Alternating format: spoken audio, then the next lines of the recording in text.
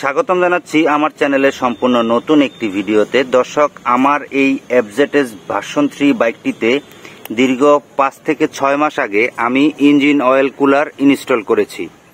এবং এই engine oil cooler install করার সময়ও আমি আপনাদেরকে দুইটি ভিডিও আমার চ্যানেলে আপলোড করে দিয়েছি, কীভাবে আমি আসলে এই অয়েল কুলারটা ইনস্টল করেছি বা এই অয়েল কুলারটা কীভাবে ইনস্টল করতে হয়। সে সকল বিষয় নিয়ে আসলে আমার ভিডিও ছিল আমার চ্যানেলে।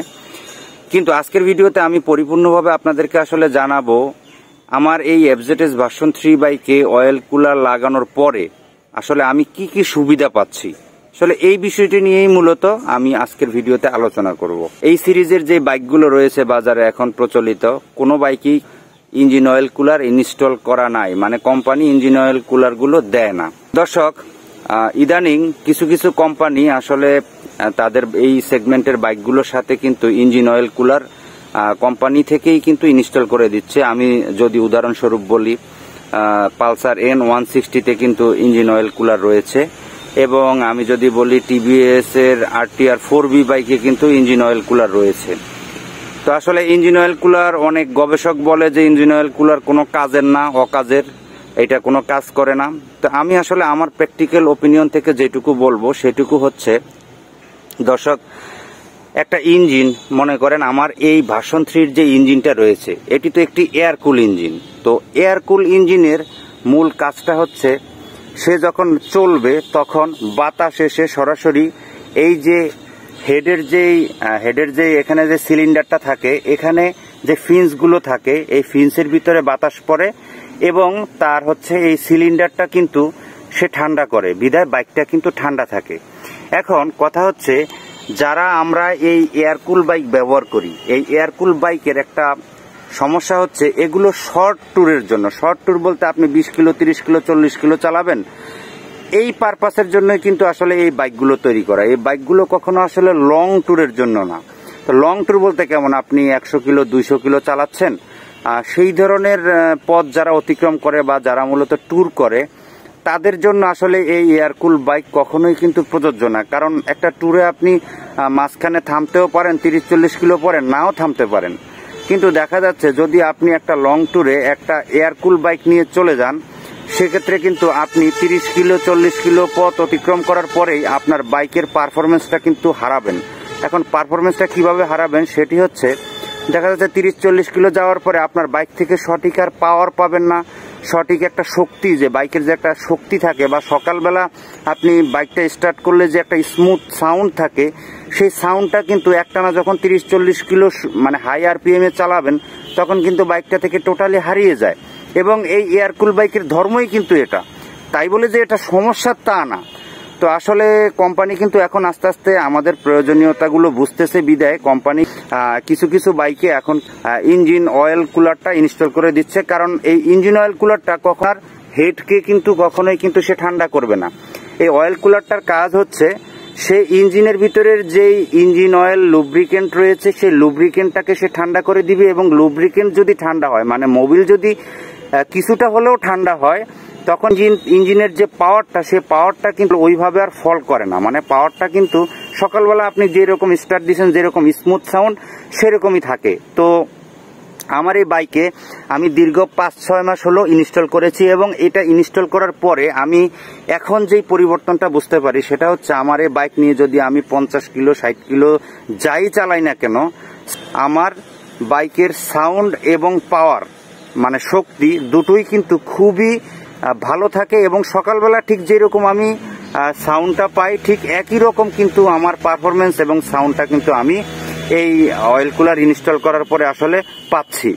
তো আসলে টিভিএস কোম্পানি বা পালসার কোম্পানি বা হচ্ছে এফজেটেস এর টু টোয়েন্টি ভার্সন যেটা আছে সেই বাইকগুলোতে কিন্তু এই ইঞ্জিন অয়েল কুলার, রেডিয়েটর মানে ইঞ্জিন অয়েল কুলার যেটা, সেটা ইনস্টল করা রয়েছে।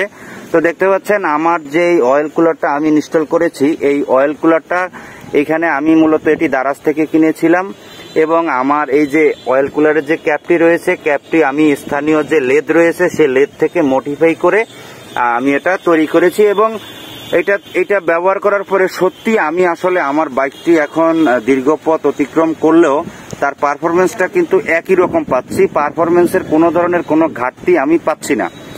তো আপনারা যারা এই সেগমেন্টের বাইক ব্যবহার করেন এবং এই সেগমেন্টের বাইক ব্যবহারকারী যারা আছেন, তাদের ভিতরে যদি কেউ রেগুলার ষাট, সত্তর, একশো কিলো পথ রাইড করেন, তারা আসলে প্রকৃতপক্ষে তারাই বুঝতে পারবেন যে বিশ তিরিশ কিলো যাওয়ার পরে আসলে বাইকের পারফরমেন্সটা কেমন হয়ে যায়, এটা আমার আসলে বলে বোঝানোর কোনো দরকার নাই।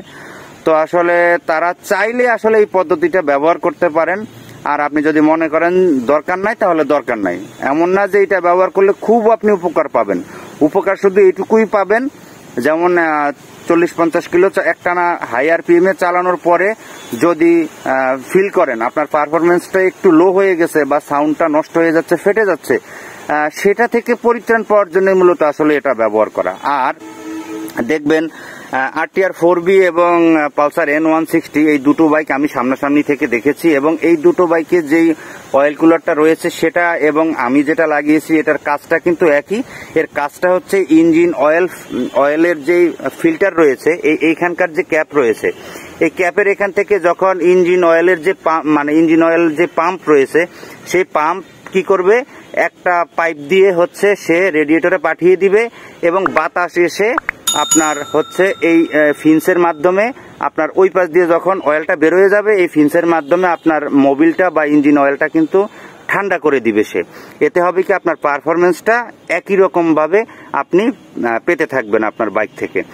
আর যারা মূলত জ্যামের ভিতরে বাইক রাইড করেন, এখন কথা হচ্ছে আপনার এই বাইকটা যখন আপনি ইঞ্জিন স্টার্ট করবেন, তখনই কেবলমাত্র হচ্ছে আপনার ইঞ্জিন অয়েলটা কিন্তু এটার ভিতর দিয়ে পাস হবে এবং হচ্ছে সেই অবস্থায় আপনাকে কিন্তু গতিতে চলতে হবে। আপনার এখানে যদি গতি না হয় মানে আপনি যদি বাইকটা না চালান, তাহলে তো এখানে বাতাস লাগবে না। আর বাতাস না লাগলে এটা ভিতর দিয়ে এসে আপনার রেডিয়েটর হয়ে যখন ওই পাশ দিয়ে যাবে, তখন কিন্তু এটা ঠান্ডা হবে না। তাহলে এটাকে বাতাস লাগবে।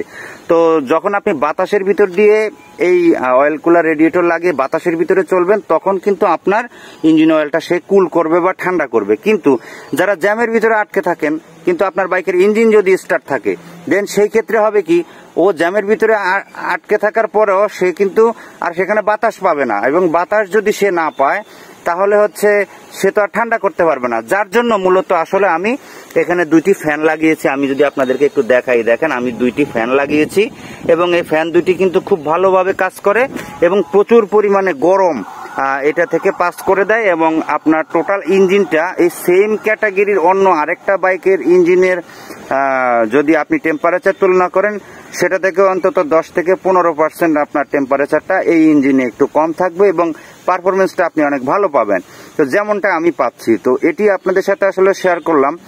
আসলে যদিও এই টাকার ভিতরে কিছু কিছু চায়না বা বাইরের কিছু কোম্পানি আছে, যেগুলো হচ্ছে টোটালি হচ্ছে ওয়াটার কুল দেয়।